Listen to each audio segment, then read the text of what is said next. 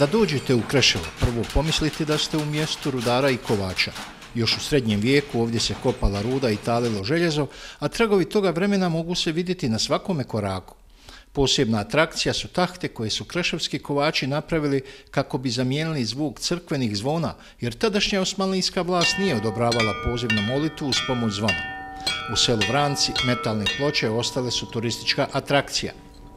U početku vjerojatno su bile tahte kod nas drvene i one su imale funkciju oglašavanja nekih e, termina, e, događanja, neki u okviru samostana. U prevodu takte znači daska, daske. I sada je to moguće takve e, tahte vidjeti u pravoslavnim manastirima koji i sad se služe. Kod nas kreševski kovači su te takte skovali od metala i one su mogle stajati samo u okviru samostana, odnosno crkve. Ove sadašnje takte su bile nekada u e, crkvi koja se je obnavljala e, sredinom 19. stoljeća. Kad su kad se ta crkva obnovila i tada e, nisu bila dozvoljena zvona, tek 1872. godine, odnosno treće, je dozvoljeno da se stavi crkveno zvono na toranj, odnosno zvonik crkve. Tada su takte i samostana donešene ovde u Vranke, na ovom mjestu i tu su imale e, funkciju, uglavnom oglašavanje vremena molitvi, jutarnje, podnevne i večernje, oglašavanje vrijeme ukopa, eventualno neki događanja, požara, ne znam, nevremena i tako dalje. Međutim, kovanje željeza odlazi u ropotarnicu povijesti. Za samo četiri decenije od 30 vrsnih kovača knjiga je spala na tri slova. Jedan od trojice koji još uvijek radi takozvani Slobodni Kovje i Dalibor Biletić u obrtničkoj radnji Kraljević. Ovdje se još uvijek mogu poručiti kovanje sjekire, krampe i druge alatke. Ja sam jedan od rijetkih od mlađih, rijetki koji zna još evo, ovaj slobodan kov, ručni kov, evo, slobodno kovat. Što vi sve proizvodite? Pa proizvodimo sve vrste sjekira, lopata, e, razni otkivaka po naručbi, sve proizvodimo, sve vrste krampi, sve ja znam, eto, sve za, što se tiče za kovanje, kopanje, budaci, eto, sve što je se i prije proizvodilo, mi isto i danas nastavili smo isto proizvoditi i prije rata što je se proizvodilo, isto čelike, evo, na primjer. Zašto se smanjio toliki broj? Pa, ne znam, evo, ili je, ne znam, možda težak posao ili, ne znam, mladi više se fataju kompjutera i tako, što ja znam, sve manje i manje zainteresiranih za ovaj posao, evo, na primjer, kovanje u Kreševa. Nema, da vam kažem, nema, prava, nema ni škole za, za kovače sad. Jeste li vi zadovoljni sa svojom poslom?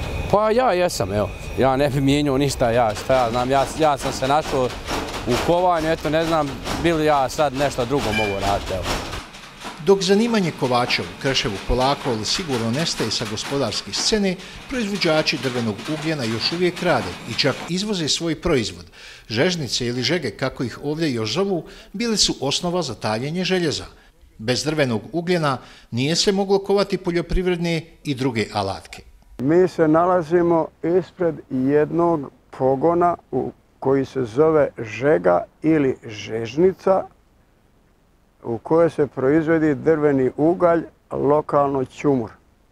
To je e, energent neohodan bio za taljenje i kovanje. Sve do dolaska Austro-Ugarske na prostore Bosne i Hercegovine. Ova ovaj energent je bio jedini koji su koristili naši e, auto, u autohtonom kovanju i taljenju tek nakon Austro-Ugarske i do Prvog svjetskog rata također je taj energent bio značajan, ali je i dolazio u veće pogone, recimo kovažnice, državne dolazio i onaj ugljen koji je se vadio sedimentni ugalj jel, iz rudnika. Ova tradicija je izuzetno duga, e, koji su očuvali kreševski kreševljaci i fojničani, inače najpoznatiji po proizvodnji, odnosno po metalurgiji i rudarstvu, e, koji su koristili taj energent sve do zadnjeg rata kad, je, kad se taj energent, ćumur, odnosno ugljen, e, koristi za minimalne potrebe, za kovanje ručno, a da ne govorim za kovanje industrijsko, to se više ne koristi. Sadašnji ugljen, odnosno ćumur, sada se koristi za potrebe isključivo e, ugostiteljstva za pripremu hrane, roštilja i tako dalje. Ovo je zanat star toliko koliko je staro taliončarstvo i kovanje.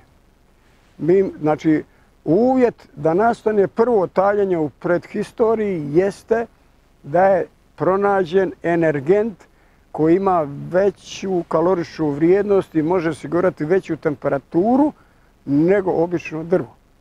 Ovo je daleko više, prema tome samo je tada moglo da se e, tali ruda i da se kuje istaljeno gvožđe.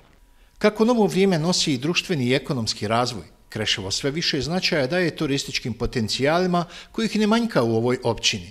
Jedna od rijetkih općina je koja je otvorila i svoj turistički ured.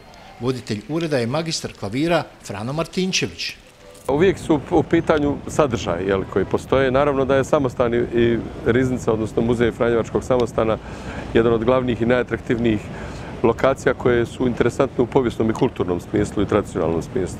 Međutim, naravno, kada, kada spominjemo recimo e, prirodne resurse, onda je naravno za planinare vrlo interesantan ovaj kraj zbog toga što se nalazi u tom vijencu Dinarskih Alpija, gdje, gdje Krešovo je okruženo s tim planinama okolo i mi imamo nekoliko jako atraktivnih lokacija, naravno među kojima prednjači taj planinarski dom na Lopati, e, apsolutno destinacija koju bi trebalo posjetiti. Malo je težak put do, do same Lopate, ali kažem i to, je, i to ima svoj čar. Jel?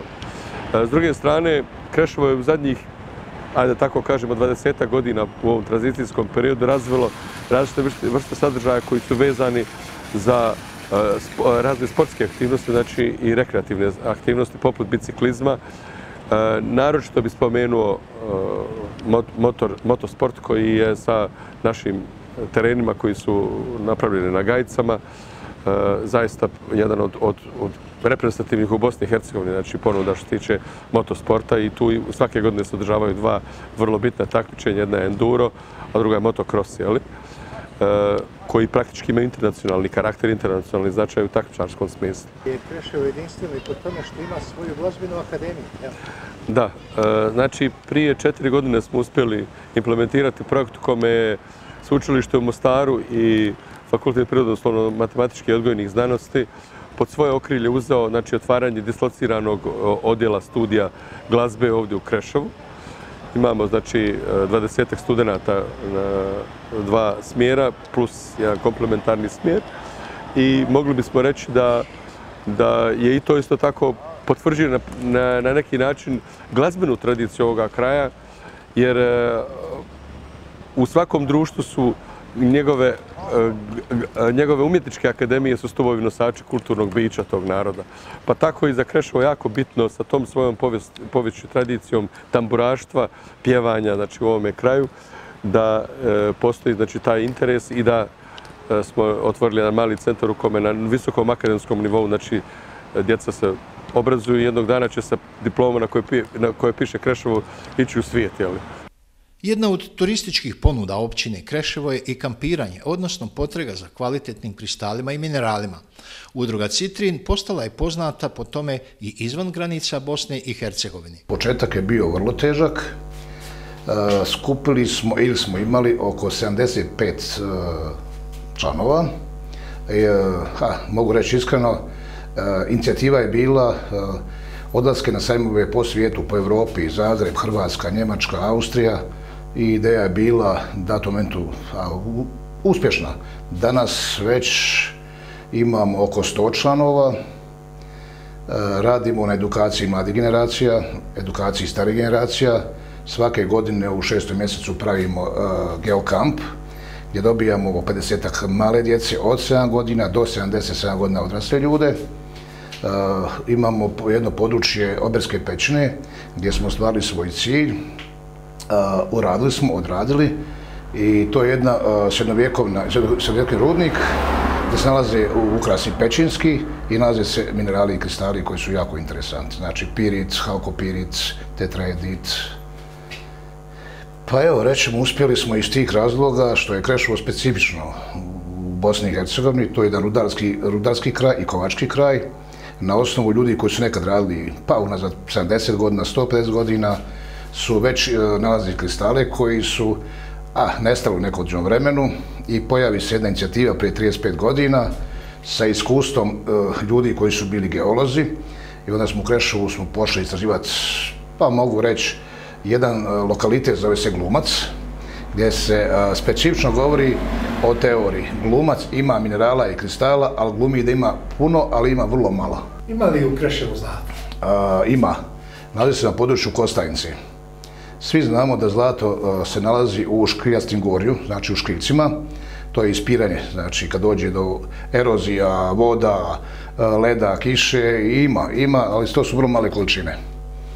To je lijepo bilo kad bi čovjek mogao živati u turističkom dijelu, popiti koju pivu, kavu, otići spirati jedan dan i to je jedna mala avantura. Mali ljudi koji ispiru?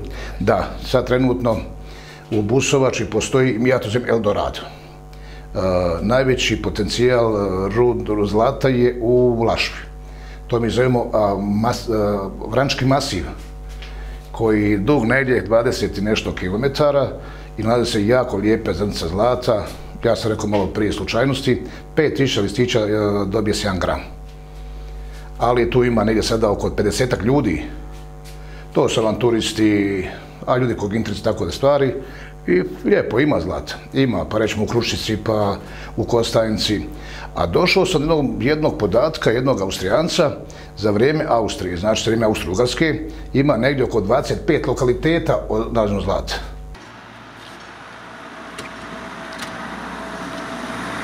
Frano Martinčević poznat je po tome što živi u bosanskoj kući starijoj od 300 godina. Kuća je obiteljsko nasljeđe koju je on preuredio u ugodan dom za život. Moja kuća je obiteljska kuća, znači stara preko 300 godina. U njoj su se rodile praktički, e, tako kažemo, četiri generacije ljudi. E, od mog pradjeda, djeda, znači e, oca, pa evo sad i mog sina, e, ovog najmlađe koji se rodio. On se rodio, znači u Biloj se rodio, ali ovdje je praktički bio donesen. Tako da je, da je ova kuća za mene posebno, posebno emotivnu vrijednost ima. E, ja sam prije nekih e, 7-8 godina odlučio da kupim tu kuću od svog, od svog bratića. Tad sam bio još u Norveškoj i da je restauriram potpuno, naravno sa nekakvom namjerom i željom i ciljem i ambicijom da se jednog dana vratim da živim u toj kući obiteljski, što sam i na kraju i napravio, uradio. Momentalno živim tu sa troje svoje djece e, i ja zadovoljan sam što sam tu, drago mi je što sam. Živjeli ste u stanovima, u drugim kućama, e, koja je razlika? Pa razlika živjeti u svom prostoru, pogotovo u svom prostoru koji diše dušom vremena, predaka. Znači, to je, to je jedna velika privilegija svakoga ko, ko je u mogućnosti u stanju da, da, to, da to učini što kuća se država prostorija? Ovako izvana ona izgleda jako mala kao sve bosanske kuće, međutim unutra je to lijepih 140 kvadrata prostora, znači jedan vrlo, vrlo fin prostor znači tu su e, praktički na gornjem katu su e, četiri prostorije i hodnik, e, plus tavanski prostor ogroman. Dolje je znači jedna velika, jedna velika dnevna soba, hodnik, kupatilo i magaza magaza iza ovih vrata ovdje, gdje, se, gdje obično smo mi u stara vremena uvijek imali ostavu, znači za namirnice, hladnjak jel, za, za hranu, nekad nije bilo frižidera, ali tako se stavljalo u što najhladnijoj prostoriji u kući. Kada poželite da osjetite duh Bosne, svratite u Kreševo. Vidjet ćete život kroz povijest, oslušnut ga i opipati. Teško ćete odoljati, a da se ponovo ne vratite.